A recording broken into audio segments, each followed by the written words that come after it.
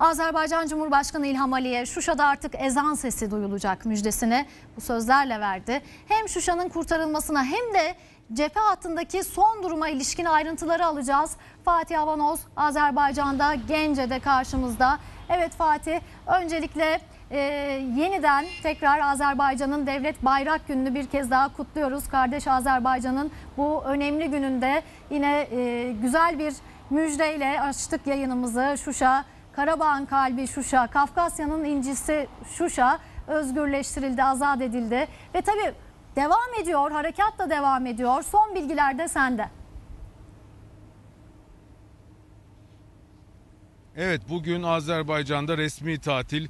Bugün bir bayram. Bugün Azerbaycan'da devlet bayrak günü. Çünkü 9 Kasım 1918'de Kafkas İslam Ordusu aslında 102 yıl önce Gence'ye gelmişti Nuri Paşa ve burada Bakü'nün işgalden kurtarılması planlarını hazırlamıştı ve harekat da buradan başlamıştı ve o harekatta e, yine muzaffer olunca zafer gelince ordumuz işte Azerbaycan 9 Kasım 1918'de o üç renkli bayrağını aslında kabul etmişti, ilan etmişti. Bugün de devlet bayrak günü olarak kutlanıyor.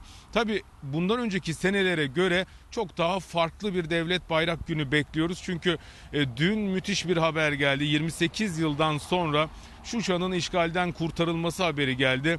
E, hatırlarsınız zaten harekatın başından itibaren de hedef Şuşa diyorlardı. Son birkaç gündür istikamet Şuşa demiştik TRT Haber ekranlarında. Azerbaycan ordusu Şuşa'nın kapısında demiştik ve cumartesi günü aslında sevindirici bilgiler gelmişti.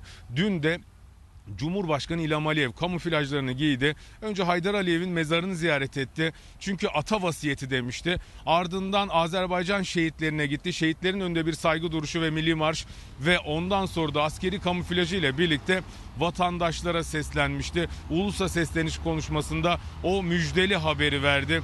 Şuşa artık Azerbaycan ordusunun kontrolündedir.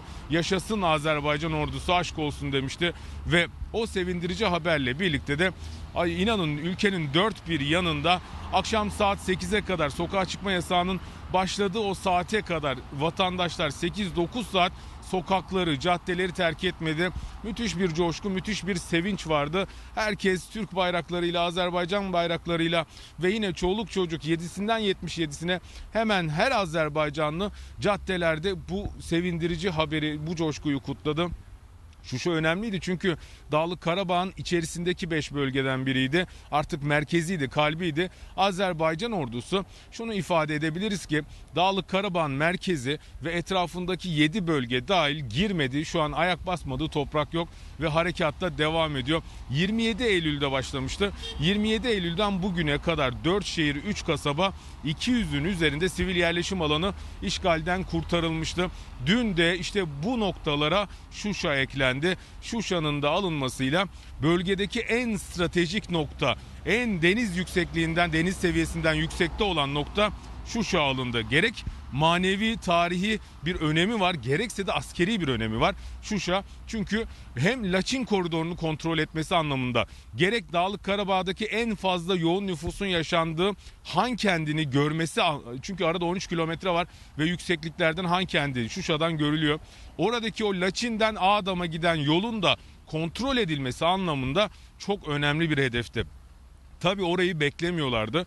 Oraya da Hadrut'tan dağları aşarak gelen özel birlikler, Azerbaycan özel birliklerinin gece yarısı operasyonuyla hiç beklemedikleri bir anda dağları tırmana tırmana gelen ordu, Azerbaycan ordusu işte orada zaferini elde etti. Şuşa'ya e, bayrağını dikti. Cumhurbaşkanı İlham Aliyev de çok yakın bir zamanda tarihi Şuşa Mescidinde, camiinde e, ezanlar okunacak dedi. Artık oradaki e, da, tahrip edilen, dağıtılan ve gerek medeni gerek kültürel ve tarihi yapılar da tekrar ayağa kaldırılacak. Bölgeye yeniden hayat gelecek dedi. Bütün tarihi yapılarımızı ayağa kaldıracağız dedi. Cumhurbaşkanı İlham Aliyev Erivan'a da bir mesajı vardı. Kalan eğer taleplerimizi kabul etmezseniz harekat sonuna kadar devam edecek dedi. Neydi o? Adam'ı terk edin diyor Cumhurbaşkanı İlham Aliyev. Kelbecer ve Laçin'i terk edin diyor ve biz de o zaman harekatı durduralım diyor. Erivan yönetimi artık tabii kararını verecek. Ama akşam saatlerinde bir kez daha Adam'ın köylerini vurdular, Terter'i vurdular. Gene Berde'ye yönelik havan ve toplarla saldırıları vardı. sabaha kadar da devam eden harekatta Azerbaycan ordusu Hocavent'in şehir merkezini henüz almamıştı.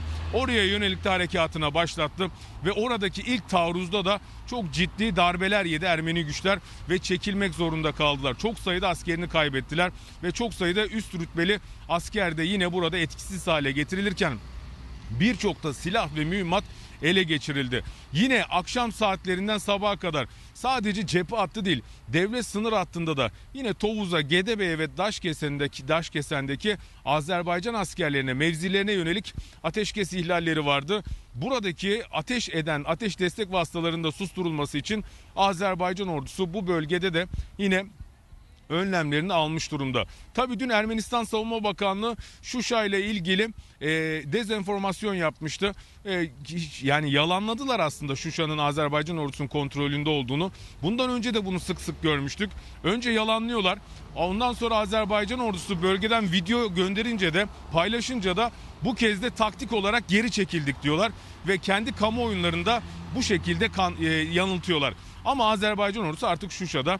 Şuşa'nın etrafındaki köyleri de birer birer temizledi. 13 kilometre mesafedeki Hankendi şehir merkezine yönelik de harekatı sürüyor. Dün de Hankendindeki sivillerin de zaten bölgeyi terk ettiğini gördük. Kelbecer ve Laçin üzerinden Erivan'a Ermenistan içlerine doğru gidiyorlar. Bölgede sivil kalmadı bunu söyleyebiliriz. Gazeteciler de çıkarılmıştı. Azerbaycan ordusunun artık e, nefesinin Han kendinde Hocavent'te olduğunu söyleyelim. Adam'da yakın zamanda artık ikmal yollarının kapanmasıyla birlikte oradan çıkması gerekecekler. Oraya çünkü artık destek gitmiyor. Adam'daki Ermeni güçleri de zor günler bekliyor Oya Eren.